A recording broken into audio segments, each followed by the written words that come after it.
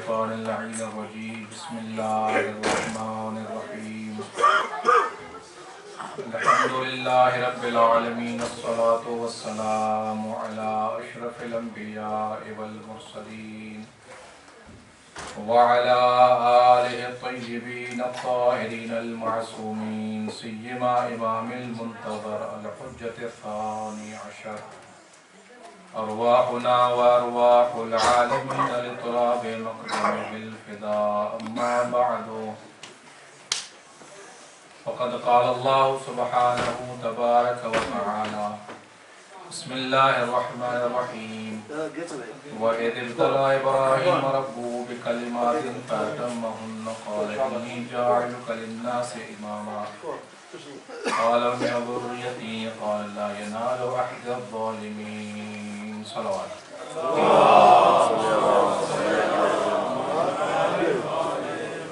مل کے امام زمانہ کی صحت و سلامتی کے لیے دعا پڑھیں بسم اللہ الرحمن الرحیم اللہم کل ولیک الحجت ابن الحسن صلواتک علیہ وعلا آبائه في هذه الساعة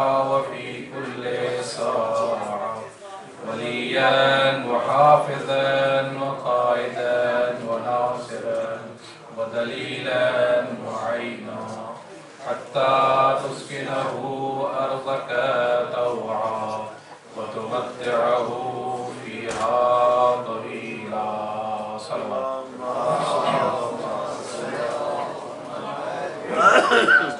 مجلس کی قبولیت کے لیے باواز بلند صلوات پڑھیں گناہوں کی بخشش و مغفرت کے لیے صلوات پڑھیں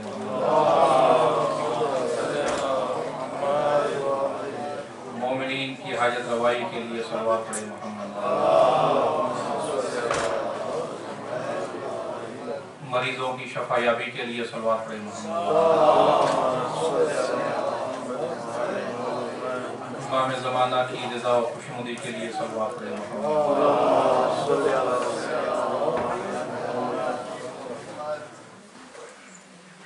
خداوند مدار آپ کا سر شہزاد تشریف لانا اپنے عبادت میں استعمال فرمائے اور جو حاجت علی کے اس بارگاہ مقدس میں تشریف لائیں پروردگار تمام حاجات کو پورا فرمائے اور خاص طور پر دعائیں مریضوں کے لیے جو یہاں پہ حاضر مریض ہیں یا آپ کے جاننے والے دوست احباب میں سے کوئی مریض ہیں جنہوں نے التماس سے دعا کہا ہے پروردگار اور سب کو شفائی کام عطا فرمائے بالخصوص بانی مجلس ثقلین علی کی والدہ مریض ہیں پروردگار ان کو شفائی کام عطا فرمائے مل کے صلوات پڑھے محمد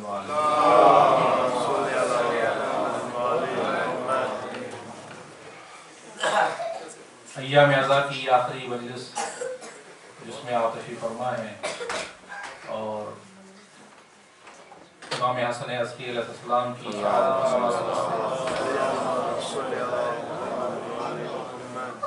اس مجلس کا انعقاد کیا گیا ہے۔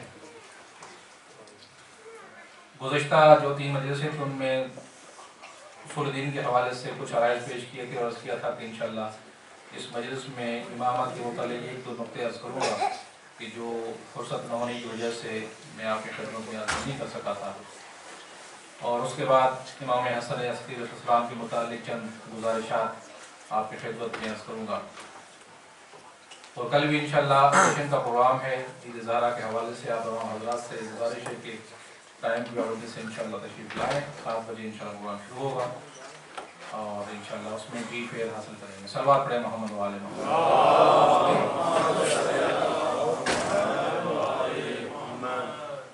جیسے میں نے عرض کیا تھا کہ اصول دین میں سے جو بنیادی اصول دین ہے وہ اصل میں تین ہیں۔ توحید، نبوت اور قیامت۔ دو جو اصول دین ہم الگ سے اصول دین میں شامل کرتے ہیں، پانچ کا بیان کرتے ہیں، ایک عدل اور ایک امامت۔ حقیقت میں عدل توحید سے نکلتا ہے اور امامت نبوت کے عقیدے سے نکلتا ہے۔ اور اس کی عرض کیا تھا میں نے اس کی وجہ؟ کہ امامت کے سلسلے میں عرض کیا تھا کہ یہ امامت کوئی الگ چیز نہیں ہے۔ ہمارے عقیدے کے لحاظ سے وہی نبوت کا تسلسل ہے۔ اور تسلسل ہم اس لیے کہتے ہیں کہ وہی ذمہ داریاں جو ایک نبی کی ہیں، وہی امام کی ذمہ داریاں ہیں۔ فقط فرق یہ ہے کہ رسول پر اور نبی پر وہی آتی ہے اور امام پر وہی نہیں آتی۔ یا دوسرے لفظوں میں نبی اور رسول دین لے کر آتے ہیں، شریعت لے کر آتے ہیں۔ اور امام دین اور شریعت نہیں لے کر آتے بلکہ اسی نبی کی شریعت کی محافظت کرتے ہیں۔ اسی نبی اور رسول کی شریعت کی محافظت اور تبیین اور تفسیر کرتے ہیں۔ لہٰذا باقی اس کے علاوہ کوئی دونوں میں فرق نہیں ہے۔ نہ علم کے لحاظ سے فرق ہے نہ فضل اور کمالات کے لحاظ سے فرق ہے۔ لہٰذا یہ امامت کا عقیدہ نبوت کے ہی بطن سے نکلا ہے۔ اور اس کی وجہ یہ ہے کہ الگ کر کے ہم بیان کرتے ہیں وہ اس وجہ سے کرتے ہیں کیا تھا کہ تاکہ ہمارے درمیان اور دوسرے مسلمانوں کے درمیان فرق واضح ہو کہ ہم میں اور ان کے درمیان فرق کہاں پر ہے۔ اور یہی وجہ ہے کہ ہم شیعہ حضر قرار امامت کے عقیدے کو عقائد میں شمار کرتے ہیں۔ یہ ہمارا عقیدہ ہے، یہ اصول دین میں سے ہے اور یہ ہمارے عقائد میں سے شمار ہوتا ہے۔ لیکن اہل سنت کے جو برادران ہیں وہ اس کو فروعات میں اور فروع دین میں اس کا شمار کرتے ہیں، عقائد میں اس کا شمار نہیں ہوتا۔ اور اسی وجہ سے ہمارا جو مکتب ہے مکتب تشیع اسی امامت کے اختلاف کی بنیاد پر ہی الگ ہوتا ہے لہٰذا ان, ان کا بھی فرض ہے کہ ہم سے سوال کریں اور ہمارا بھی فرض ہے کہ ہم ان کے لیے بیان کریں کہ یہ امامت کا عقیدہ ہم نے الگ کر کے کیوں بنایا ہے؟ یہ امامت کا عقیدہ ہم نے اصول دین میں سے کیوں قرار دیا ہے؟ اس لیے ان کا حق بنتا ہے کہ ہم سے سوال کریں اور ہم بھی جواب دینے کی صلاحیت رکھتے ہیں کہ اپنے مذہب کا دفاع کرتے ہوئے یہ بیان کریں کہ ہم نے امامت کو عقائد میں سے شمار کیوں کیا ہے؟ بہرحال، عقائد کے حوالے سے اور امامت کے حوالے سے خاص طور پر بہت زیادہ تفصیلی گفتگو ہے اور ایک اور دو اور چار مجلسوں کے اندر بیان نہیں ہو سکتا۔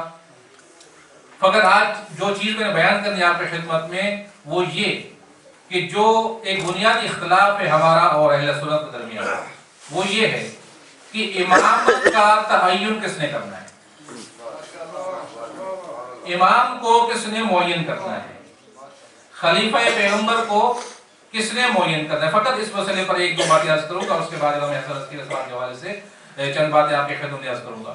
تو یہ ایک بنیادی اختلاف ہے ہمارے اور اہل سنت کے درمیان کہ پیغمبر کے بعد مسلمانوں کے لیے خلیفہ پیغمبر، جانشین پیغمبر یا دوسرے لفظوں میں امام، رہنما، رہبر، ہدایت کرنے والا، رہبری کرنے والا، جو ہوگا وہ کون ہوگا اور اس نے، اس کو کس نے معین کرنا ہے؟ اس پر اختلاف ہے ہمارا۔ ہمارا نظریہ یہ ہے کہ پہلے اہل سنت کا نظریہ کروں۔ ان کا نظریہ یہ ہے کہ یہ جو ذمہ داری ہے، یہ ذمہ داری اللہ اور اس کے رسول نے مسلمانوں کے اوپر عائد کی ہے کہ جب پیغمبر اس دنیا سے چلے جائیں تو اپنے اپنے رہبر کو اپنے خلیفے کو اور پیغمبر کے جانشین کو وہ خود انتخاب کریں۔ ان کا نظریہ یہ ہے کہ مسلمانوں کے اوپر اللہ رسول نے چھوڑ دیا۔ کہا کہ تم جس کو خلیفہ بناؤ تم جس کو رہبر بناؤ تم جس کو امام مسلمین امام المسلمین بناؤ تمہاری ذمہ داری ہے۔ لیکن ہمارا عقیدہ یہ کہ نہیں کہ یہ امامت کا عہدہ جو ہے وہ عام انسان کے اختیار میں نہیں ہے۔ بلکہ آج یہ کروں کہ جتنے بھی اللہ کے عہدے ہیں، کون سے اللہ کے عہدے ہیں؟ ایک نبوت عہدہ پروردگار ہے، رسالت عہدہ پروردگار ہے، خلافت عہدہ پروردگار ہے اور امامت یہ بھی عہدہ پروردگار ہے۔ جتنے بھی اللہ کے عہدے ہیں جو اللہ نے لوگوں کی ہدایت کرنے کے لیے لوگوں کی رہنمائی کرنے کے لیے عہدے معین فرمائے ہیں۔ ایک ولایت کا بھی منصب ہے۔ میں اس کے بارے میں نہیں کروں گا کیونکہ اس میں کوئی ظاہری ذمہ داری نہیں ہوتی ولی کی۔ وہ ایک باطنی کیفیت ہے کہ جس کو پروردگار عالم وہ منصب عطا فرما دے۔ وہ بھی اللہ کے اختیار میں لیکن جو ظاہری ذمہ داریاں ہیں، لوگوں کے ساتھ جن کا تعلق ہے، رہنمائی کے حوالے سے، لوگوں کی لیڈرشپ کے حوالے سے، وہ چار ہی ہوتے ہیں۔ یا نبوت ہے، یا رسالت ہے، یا امامت ہے، یا خلافت ہے۔ یہ چار عہدے ہیں کہ جو پروردگار عالم کی طرف سے عطا ہوتے ہیں، اور یہ چار عہدے وہی ہیں کہ جن کا قرآن مجید میں اللہ نے تذکرہ فرمایا۔ یعنی یہ وہ نہیں ہے کہ ہم نے اپنی طرف سے کہا کہ یہ اللہ کی ذمہ داری ہے کہ ان عہدوں کو معین فرمائے، یہ عہدے کسی کو عطا فرمائے۔ ہم نہیں کہتے، خدا نے اپنی ذمہ داری بیان فرمائی ہے کہ ان عہدوں کا یہ عہدے ہیں بھی ہمارے، اور جس کو ہم دیں گے ہم ہی دے سکتے ہیں۔ کوئی اور نہیں دے سکتا۔ لہذا لہذا مسلمانوں کا حق بنتا ہے کہ سوال کریں کہ یہ جو آپ کہتے ہیں کہ عہدہ امامت اور خلافت، یہ بھی اللہ کا حق ہے کہ وہ معین فرمائے کہ پیغمبر کے بعد کون امام ہے، پیغمبر کے بعد کون ان کا جانشین ہے، پیغمبر کے بعد مسلمانوں کا رہبر اور امام المسلمین کون ہے؟ یہ اللہ کی ذمہ داری ہے۔ اس کے لیے ہم اپنے دلائل عرض کریں گے اور انشاءاللہ اور بھی جو مباحث ہیں امامت کے حوالے سے، کیونکہ وقت نہیں ہے، فرصت نہیں ہے، اس کے لیے بہت زیادہ ٹائم چاہیے۔ تو انشاءاللہ اور باتیں میں عرض نہیں کروں گا، فقط یہی بات آپ کی خدمت میں عرض کروں گا قرآن کے حوالے سے کہ یہ اللہ کی ذمہ داری ہے۔ اصل بات ہے محمد۔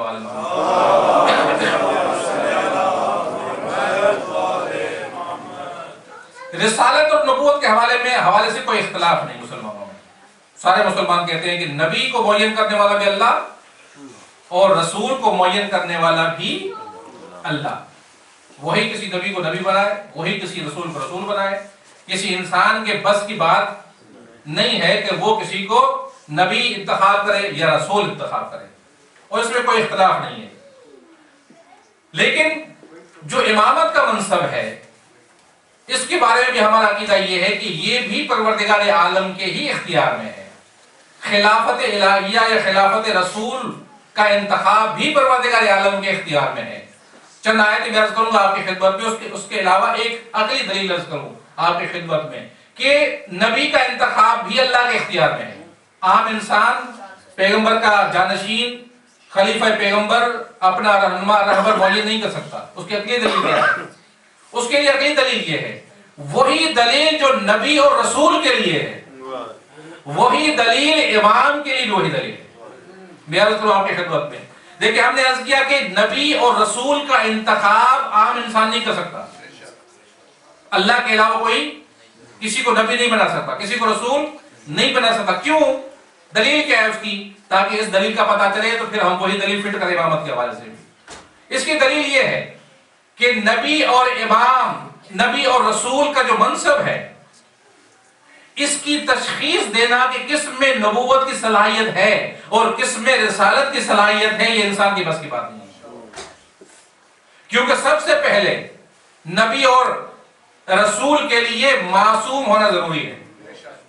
یہ بھی ایک اگلی دلیل ہے کہ ہر نبی کے لیے اور امام کے لیے، معصوم رسول کے لیے معصوم ہونا ضروری ہے، لیکن میں اس کے بارے میں عرض نہیں کروں گا۔ فقط یہ اتنا یہ آپ مان لیں کہ معصوم ہونا ضروری ہے۔ مسلمان سارے قائل ہیں کہ نبی کو معصوم ہونا چاہیے، رسول کو معصوم ہونا چاہیے۔ بغیر عصمت کے، بغیر معصومیت کے نہ کوئی نبی بن سکتا ہے، نہ کوئی رسول بن سکتا ہے اس پر سب کا اتفاق ہے، دلائل میں موجود ہے۔ تو میں یہ کر رہا ہوں کہ نبی ہونے کے لیے جو کم از کم شرط ہے وہ یہ کہ وہ نبی اور رسول معصوم ہونا چاہیے۔ تو جناب کی۔ اور معصوم جس کو کہتے ہیں، معصوم وہ شخص ہوتا ہے جس میں یہ صلاحیت ہوتی ہے۔ یہ چیز نظر نہیں آتی۔ یہ صلاحیت ہوتی، یہ کیفیت ہوتی ہے۔ یہ اس کے وجود کا ایک وجود کی ایک حالت ہوتی ہے۔ جس حالت کی وجہ سے، جس کیفیت کی وجہ سے، جس کوالٹی کی وجہ سے وہ اپنے آپ کو گناہوں سے بچاتا ہے۔ اب یہ کیفیت انسان کو نظر نہیں آتی۔ ہاں زیادہ ٹائم اگر کسی کے ساتھ رہے گا، ایک طولانی وقت گزارے گا، تو پھر جا کر یہ کہہ سکتا کہ ہاں میں نے اس سے کوئی گناہ نہیں دیکھا۔ زیادہ سے زیادہ نہیں کہے گا، میں نے گناہ نہیں دیکھا، لیکن اس کے باوجود یہ نہیں کہہ سکتا کہ یہ معصوم ہے۔ انسان پچاس سال، سو سال بھی کسی زندگی کے ساتھ زندگی گزارے، زیادہ سے زیادہ یہ کہہ سکتا ہے کہ میں نے اس سے گناہ نہیں دیکھا کرتے ہوئے۔ میں نے کوئی نافرمانی خدا کی نہیں دیکھی، لیکن یہ نہیں کہہ سکتا کہ یہ معصوم ہے۔ ہو سکتا ہے کہ اس نے گناہوں کو ترک کیا ہو عصمت کے بنیاد پر، ہو سکتا ہے کہ اس نے گناہ کو ترک کیا ہو عدالت کے بنیاد پر۔ وہ متقیدہ پرہیزگار تھا۔ لہذا پرہیزگاری کی وجہ سے تقوی کی وجہ سے اس نے گناہ کو ترک کیا۔ دونوں احتمال ہیں، لیکن کوئی یہ نہیں کہہ سکتا کہ یقیناً اس عصمت کی بنیاد پر اس نے گناہ کو ترک کیا ہے، کیونکہ یہ اندرونی کیفیت ہے۔ انسان کی نفس کی کیفیت ہے عصمت۔ لہذا اس کو عام انسان تشخیص نہیں دے سکتا۔ کیونکہ تشخیص نہیں دے سکتا، لہذا نبی کو بھی معین نہیں کر سکتا، رسول کو بھی معین نہیں کر سکتا۔ نعرہ تقدیر۔ نعرہ رسالت۔ نعرہ حیدری۔ نعرہ سلوات۔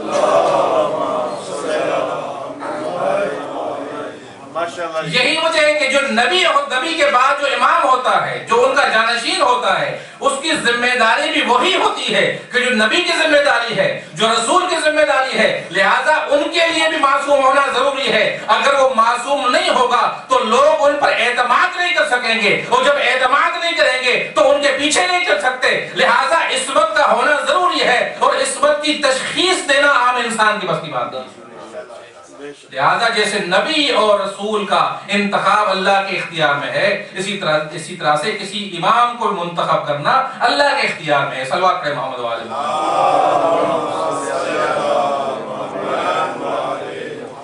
اتفاق یہ ہے کہ میرے سامنے نہ گھڑی ہے اور نہ جو ہے وہ کوئی ٹائم کا پتہ چل رہا ہے، لیکن میں پڑھتا جا رہا ہوں آپ انشاءاللہ سنتے رہیں۔ صلوات پڑھے محمد والے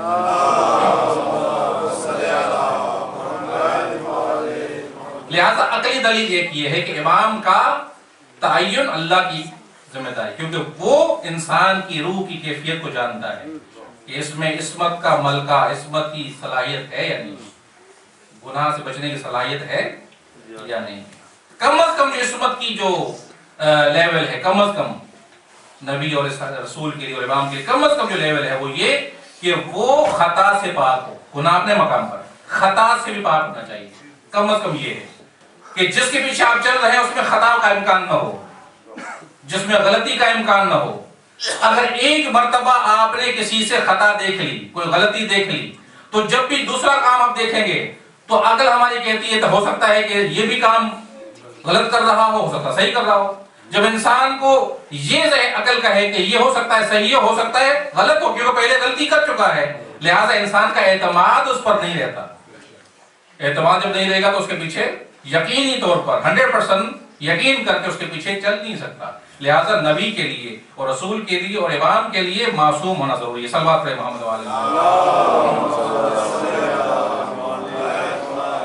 اب قرآن مجید میں چند آیات میں عرض کروں گا آپ کی خدمت میں۔ نبوت اور رسالت کے حوالے سے نہیں، کیونکہ اس میں اختلاف نہیں ہے مسلمانوں کا، کہ یہ اللہ کے اختیار میں ہے ان عہدوں کو منتخب کرنا اور ایسے افراد کو منتخب کرنا۔ لیکن دو کے بارے میں اختلاف ہے۔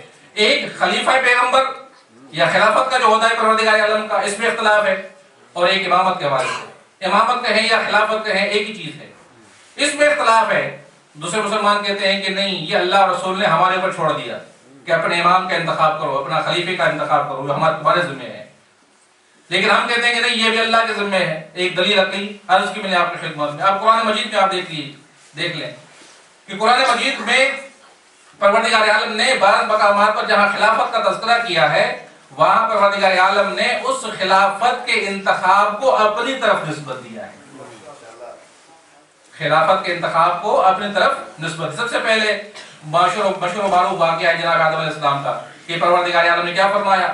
جب ملائکہ سے مخاطب ہو کر اللہ نے فرمایا کہ میں زمین پر اپنا خلیفہ بنانے والا ہوں۔ انی جاعل فی الارض خلیفہ۔ میں زمین پر خلیفہ بنانے والا ہوں۔ تو اس کا پتہ اس سے مطلب یہ ظاہر ہوتا ہے کہ خلیفے کا بنانا زمین پر یہ اللہ کا اختیار ہے۔ یہ اللہ نے اپنے طرف نسبت دی ہے کہ خلیفہ میرے میرے اختیار میں بنا۔ ایک یہ آیت جو مشہور معروف ہے۔ اس کے بعد دو آیتیں اور پڑھوں گا، تین آیتیں۔ ایک سورہ سواد کی آیت ہے کہ جس میں پروردگار عالم نے جناب داؤد علیہ السلام کو اپنا خلیفہ بنایا زمین پر۔ سورہ سات کی آیت نمبر چھبیس میں ارشاد ہوتا ہے کہ یا داؤد انا جعلناک خلیفتن فی الارض وحکم بین الناس بالحق۔ اے داؤد ہم نے تمہیں زمین پر خلیفہ بنایا۔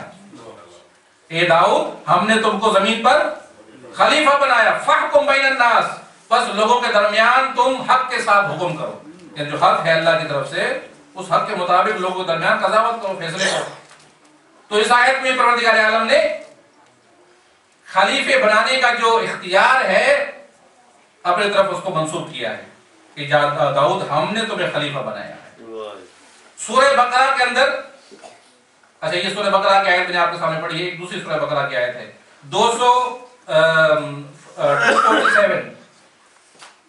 یہ جناب داؤد علیہ السلام کے زمانے میں ہے۔ وقال لهم نبیہم ان اللہ، جب لوگوں نے جناب داؤد علیہ السلام کی قوم نے کہا کہ آپ اللہ سے کہیں کہ ہمارے لیے کوئی رہبر اور رہنما اور جنگ کا سپہ سالار بوین کرے۔ اللہ کی طرف سے بوین ہو یعنی نبی سے کہا کہ آپ اللہ سے کہیں کہ وہ بوین کرے۔ تو اس کے بعد پر پروردگار عالم نے ارشاد فرمایا، وقال لهم نبيهم ان الله قد بعث لكم طالوت ملکا کہ پروردگار عالم نے تمہارے لیے طالوت کو تمہارا حکمران معین کیا ہے۔ کالو انا یقون اللہ الملک جب ان کو پتا چلا کہ تالوت کو اللہ نے ہمارا حکمران بنایا ہے تو انہوں نے کہا کہ یہ تالوت ہمارا حکمران ہوگا۔ یہ کیسے ہمارا حکمران بن سکتا ہے؟ کہ یہ کیسے ہمارا بادشاہ بن سکتا ہے؟ کیوں؟ دلیل کیا تھی ان کے پاس؟ وہ سمجھتے تھے کہ نہ اس کے پاس مال ہے، نہ اس کے پاس دولت ہے، نہ کچھ بھی نہیں ہے، یہ بیچارہ فقیر آدمی ہے، تو یہ کیسا کیسے حکمران بنے گا ہمارے اوپر؟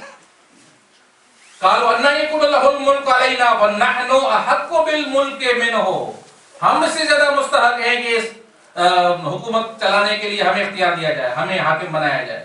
ہم سے زیادہ مستحق ہے کیونکہ ہمارے پاس مال ہے، ہمارے پاس دولت ہے، ہمارے پاس شخصیت ہے، ہمارے پاس اور جو ہے وہ دنیا کی چیزیں ہیں کہ جس کی وجہ سے ہم حقدار بنتے ہیں۔ وَلَبْ يُؤْتَ سَعَدَ مِنَ الْمَالِ، اور اللہ نے ان کو تو مال بھی عطا نہیں کیا، تو یہ کیسے ہو سکتا ہے؟ تو نبی نے فرمایا، قال، ان اللہ اصطفاہ علیکم وزادہ بستتن فی العلم والجسم. تو نبی نے کہا کہ اللہ نے جناب تعلوت کو تمہارے اوپر حکمران اس لیے بنایا ہے کہ اللہ نے ایک تو اس کو علم عطا کیا ہے اور ایک اللہ نے اس کو طاقت اور قدرت عطا فرمائی۔ لہٰذا یہ تمہارا جو معیار ہے کہ اس کے پاس مال و دولت نہیں ہے لہٰذا یہ حکمران کیسے بن سکتا ہے؟ تو یہ درواقع اللہ کہنا چاہتا ہے کہ یہ دنیا کا معیار ہے کہ جب ہم دنیا تم دنیا میں کسی کو حکمران بناتے ہو تو مال و دولت دیکھتے ہو اس کی حیثیت دیکھتے ہو لیکن حقیقت میں اللہ کی نظر میں اگر کسی حکمران کے لیے جو صلاحیت معین ہو سکتی ہے وہ یہی ہے کہ اس کے پاس علم بھی ہو اور اس کے پاس قدرت بھی ہو۔ اچھا۔ لہٰذا اللہ نے تعلق کو علم کی وجہ سے اور قدرت کی وجہ سے تمہارا حکمران بنایا ہے۔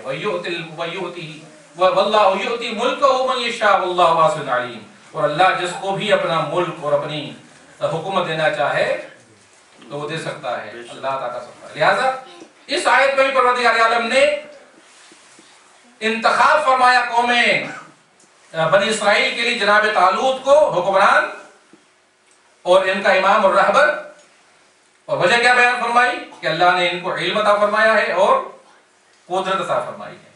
تو یہ بھی آیت بتاتی ہے کہ اللہ تعالیٰ انتخاب کرے گا مسلمانوں کے لیے، لوگوں کی رہنمائی کے لیے، ان کو گائیڈ کرنے کے لیے، ان کی رہبری کرنے کے لیے، کرنے کے لیے اللہ اللہ خدا مطالع انتخاب فرمائے گا۔ جس کو بھی انتخاب فرمائے۔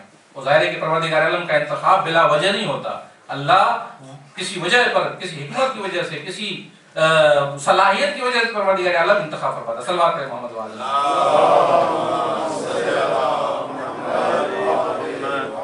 جناب ابراہیم علیہ السلام کے تذکرے میں یہ ملتا ہے، جو آیت میں نے خطبے میں پڑھی آپ کے سامنے۔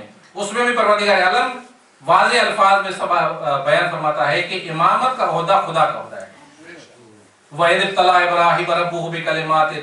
جب اللہ نے ابراہیم کا چند کلمات کے ذریعے سے امتحان لیا اور جب ان اس امتحان میں کامیاب ہو گئے، میں تفصیل عرض نہیں کروں گا، اس امتحان میں جب کامیاب ہو گئے، تو پروردگار عالم نے ارشاد فرمایا وحید طلع ابراہیم ربہ صلوات علیہ محمد و آل محمد۔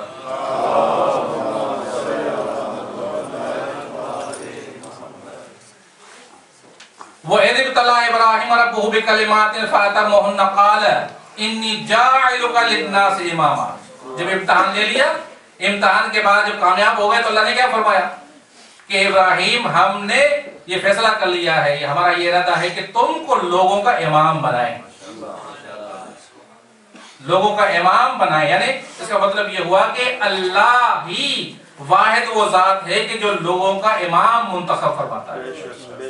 لہٰذا امامت کا عہدہ اللہ کا عہدہ ہے خلافت کا عہدہ اللہ کا عہدہ ہے نبوت رسالت کا عہدہ اللہ کا عہدہ ہے لہٰذا وہی حق رکھتا ہے کہ کسی کو نبی بنائے، کسی کو رسول بنائے، کسی کو امام بنائے اور کسی کو خلیفہ بنائے۔ لہٰذا جب اللہ نے یہ فرمایا تو جناب ابراہیم نے ابھی دست بستہ تو گزارش کی بات ہے الہی میں کہ پروردگار اگر ایسا ہی ہے کہ تو مجھے امام بنانا چاہتا ہے تو پھر میری یہ دعا ہے کہ میری ضروریت میں بھی امام بنا دے سلوات پڑھے محمد والے نعرہ تکبیر۔ اللہ نعرہ رسالت نعرہ حیدری نعرہ اللہ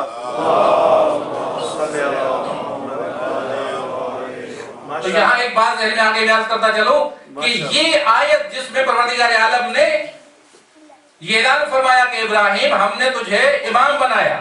جناب ابراہیم امام تھے نبی بھی تھے رسول بھی تھے اور امام بھی تھے۔ اور اس کے بعد جناب ابراہیم کے دعا کیا تھی؟ کہ پروردگار میری اولاد میں بھی میری ضروریت میں بھی امامت کو قرار دینا تو میں مسلمانوں سے سوال کروں گا کہ ذرا یہ بتاؤ کہ جناب ابراہیم کی ضروریت میں سے کون امام ہے؟ جناب ابراہیم کی ضروریت میں سے کون امام ہے؟ اگر آپ بارہ اماموں کو نہیں مانیں گے تو ابراہیم کی ضروریت میں سے کسی کو امام ثابت نہیں کر سکتے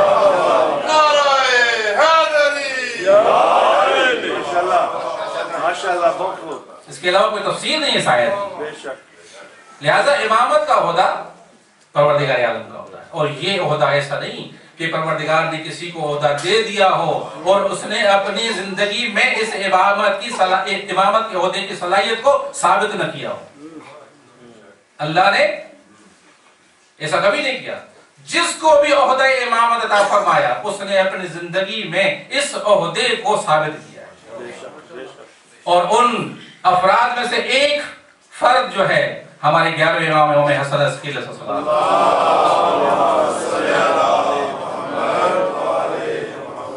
جو امام ہوتا ہے زمانے کا، وہ اپنے زمانے میں سب سے افضل ترین شخص ہوتا ہے۔ اور یہ ایسی بات نہیں کہ ہم ان کے ماننے والے کہتے ہیں، بلکہ امام کو ایسا عظیم ہونا چاہیے، امام کو ایسا باکمال ہونا چاہیے کہ نہ فقط ان کے ماننے والے بلکہ جو ان کے مخالف بھی ہوں وہ بھی وہی بات کہتے ہوئے نظر آئے جو ان کے ماننے والے کہتے ہیں۔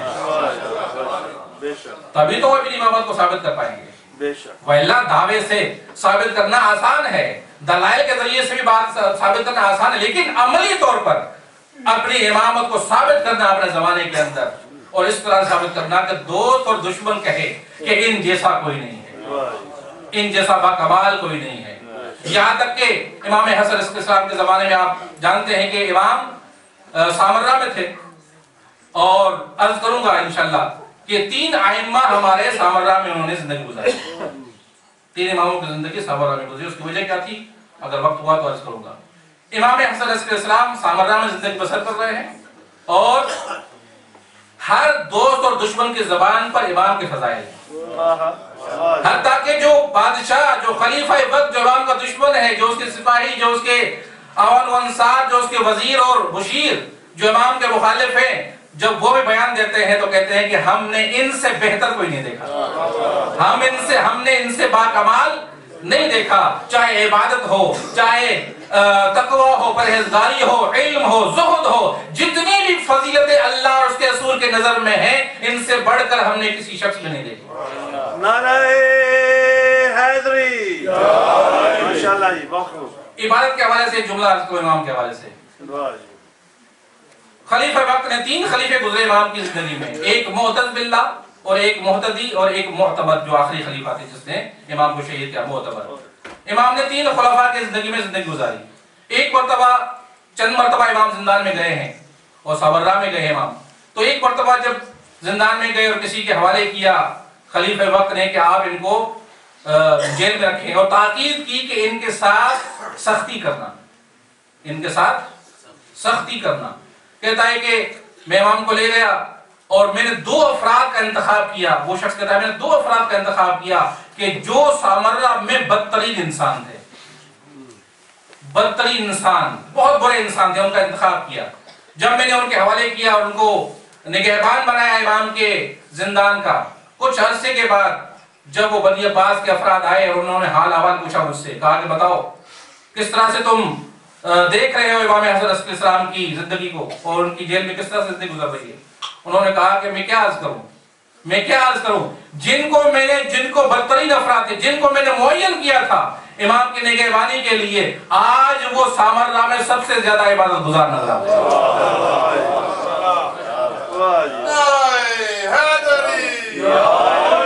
کہتے ہیں کہ بلاؤ ان کو وہ دونوں آتے ہیں۔ ان سے پوچھتے ہیں کہ تم نے کیا دیکھا؟ کہا کہ ہم نے یہی دیکھا جب سے ہم امام کی نگہبانی کر رہے تھے تب سے ہم نے یہ دیکھا کہ یا امام عبادت میں زندگی بسر کر رہے ہیں۔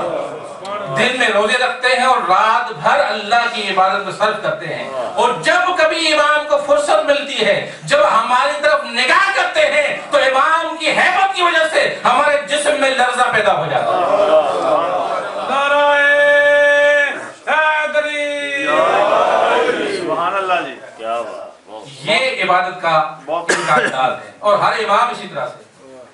عبادت کے لحاظ سے ہر امام اس طرح سے اور اپنے ماننے والوں کو تاکید کرتے رہے۔ کہ ہمارے ماننے والے اپنے شہر میں اس طرح سے ہوں کہ ان سے زیادہ کوئی عبادت گزار ہوا ان سے زیادہ قرآن کی تلاوت کرنے والا۔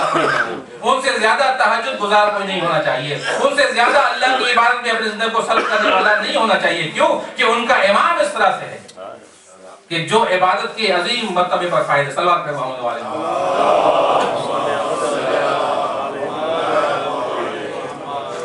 امام علیہ السلام کی زندگی بہت ہی عجیب و غریب زندگی ہے۔ یہ تین ائمہ جو آخری امام ہیں، امام نقی علیہ السلام، امام حسن عسقی علیہ السلام اور امام زمان علیہ السلام۔ یہ تین امام ایسے ہیں کہ جن کی زندگی چھاؤنی میں گزری ہے۔ سامرہ اصل میں یہ بنی عباس کی چھاؤنی تھی۔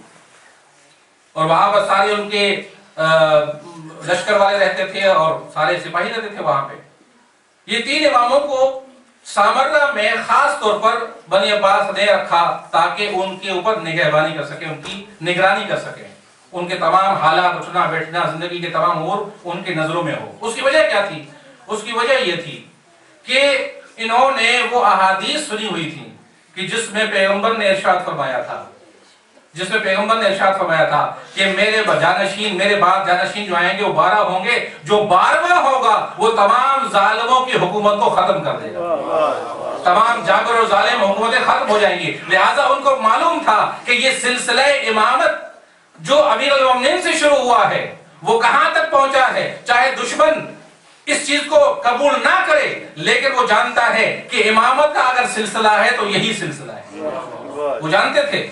کہ یہی سلسلہ ہے کہ جس کے ذریعے سے بارہواں آئے گا اور ہماری حکومت کو ختم کرے گا۔ لہٰذا ان کی نظروں میں یہ حادث تھی۔ انہوں نے ائمہ کو اپنے تحت نظر، اپنے سامنے رکھا تاکہ ان کی تمام حرکات و سکرات ان کے سامنے ہو تاکہ اگر کوئی ایسی مشکل پیش آ جائے، کوئی ایسا برلا پیش آئے، تو ہم اپنا قدم اٹھا سکیں۔ لہٰذا امام نقی علیہ السلام اور امام حسن علیہ السلام اور امام زمانہ کی زندگی اس سامرہ میں گزری۔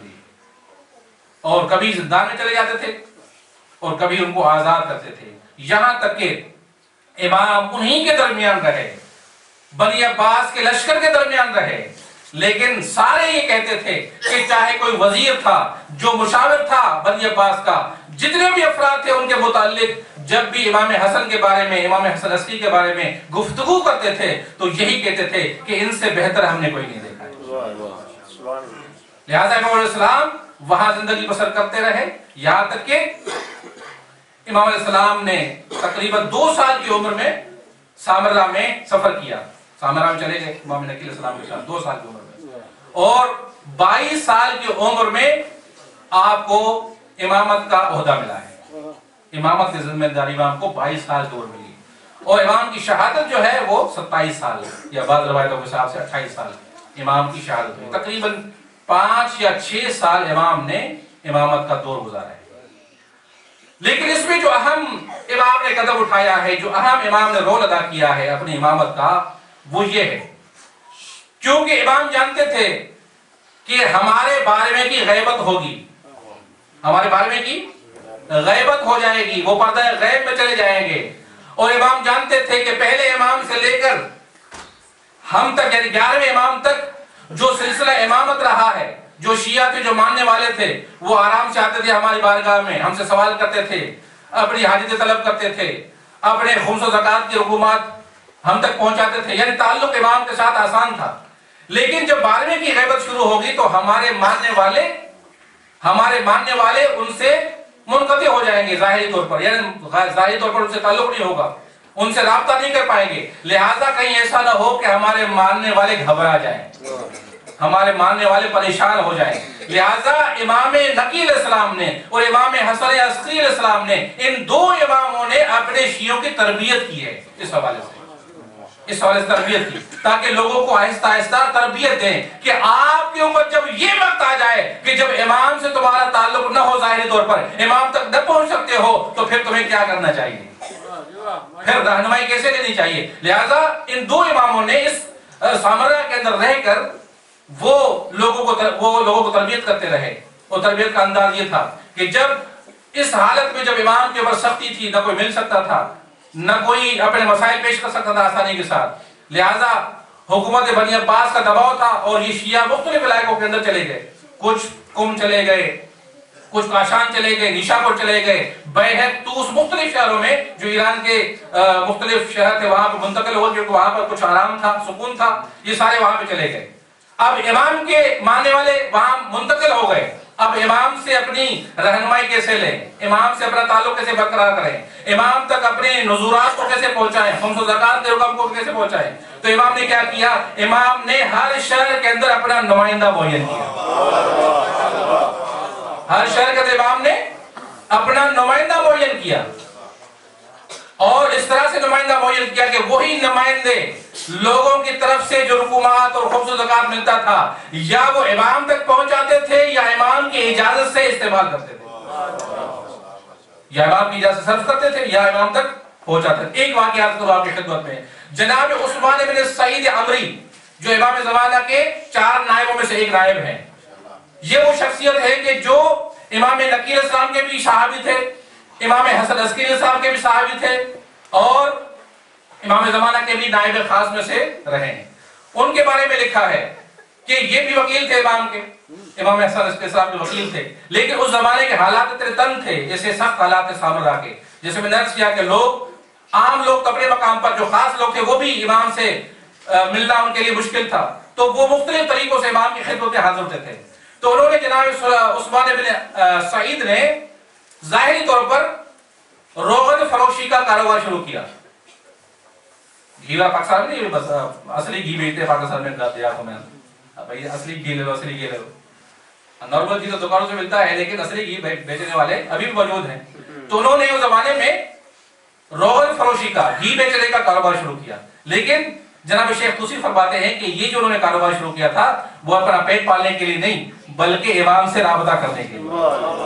امام کی خدمت میں پہنچنے کے لیے۔ ایک بہانہ تھا ان کے لیے۔ وہ روغن فروشی کرتے تھے اور جو رکومات ان تک پہنچتی تھی امام کی، وہ اس برتن میں، جس برتن میں انہوں نے گھی لیا ہوا تھا بیچنے کے لیے، اس برتن میں گھی کے اندر چھپا دیتے تھے اور پھر گھی بیچنے کی نیت سے آواز لگاتے ہوئے، مختلف گلیوں سے گزرتے ہوئے امام کے دروازے پر پہنچتے تھے۔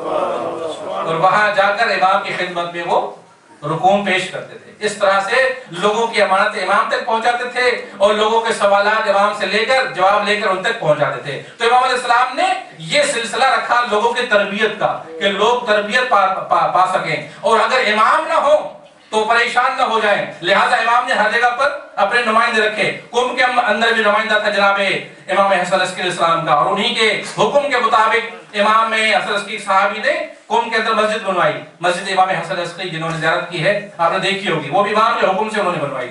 اس طرح سے ہر شہر کے اندر امام کا نمائندہ تھا۔ اور جب غیبت کا زمانہ شروع ہو جاتا ہے، تو پھر چار نائب خاص امام علیہ السلام معین فرماتے ہیں اور فرماتے ہیں کہ ہمارے غیبت کبرا کے اندر، غیبت سولہ کے اندر یہ چار نمائندے ہیں۔ ایک ایک کر کے امام نے معین کیا۔ جب چار کی چوتھے کی باری آئی تو امام نے فرمایا کہ اس کے بعد ہمارا کوئی نائب خاص نہیں ہے، بلکہ ہم تم ماننے والوں کو اپنے نائب عام کے سپرد کرتے ہیں کہ جو تمہاری رہنمائی کریں گے، جو تم تک دین پہنچائیں گے، جو تمہارا مال لے کر ہم تک پہنچائیں گے اور ہماری مرضی کے مطابق صرف کریں گے۔ لہذا امام نے فرمایا، اے شیعو جب غیبت کبرا کا زمانہ ہو جائے تو تمہیں پریشان ہونے کی ضرورت نہیں ہے۔ وہ آدمی جس کے پاس تقوی ہو، جس کے پاس پرہیزگاری ہو جو ہمارا علم حاصل کر چکا ہو تمہیں ہم ان کی ذمہ داری ان کے ذمہ لگاتے ہیں لہذا تم ان کی پیروی کرو گے تم نے جب ان کی گویا تم نے ہماری پیروی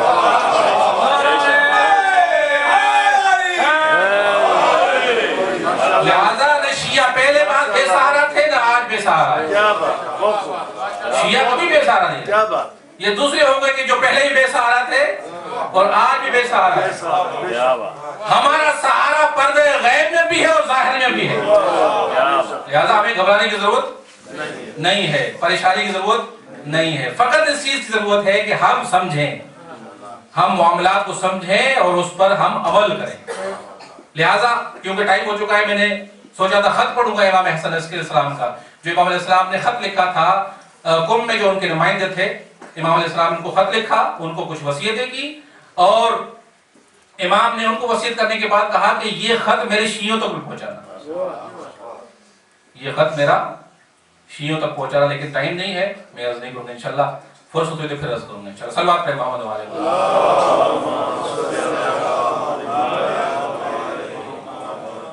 نعرہ تکبیر، نعرہ رسالت، نعرہ حیدری، نعرہ سلوات۔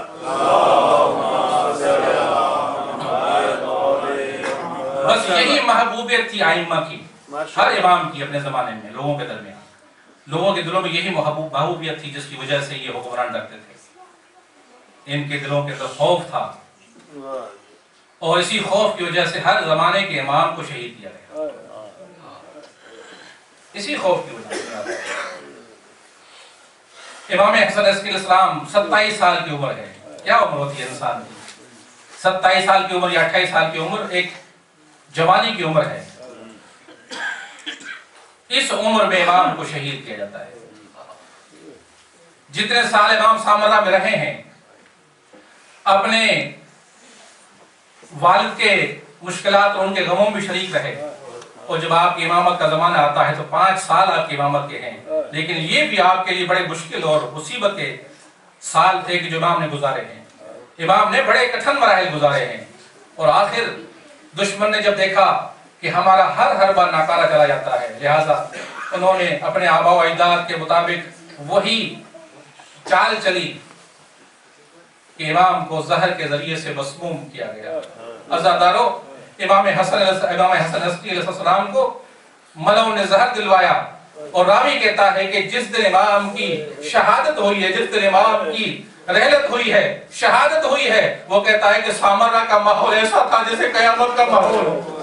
جس طرح سے کام قیامت کا ماحول ہو، ہر طرف سے لوگ گریا کرتے ہوئے امام کے گھر کی طرف بڑھ رہے ہیں۔ کوئی گلی نہیں تھی جس پہ کوئی ماتم کرنے والا نہ ہو۔ کوئی خاتون نہیں تھی جو اپنے چہرے کو لمبا پیٹ رہی ہو۔ کوئی مرد نہیں تھا جس نے اپنے سر سے امامہ نہ اتارا ہو۔ ہر طرف سے شیون و بکار کی آواز آ رہی تھی۔